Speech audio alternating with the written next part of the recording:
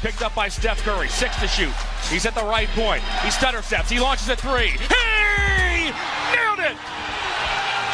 53 seconds to go. Cavaliers 92. Warriors 89. Irving has 26. Oh, what a clutch shot for the fifth year man out of Duke.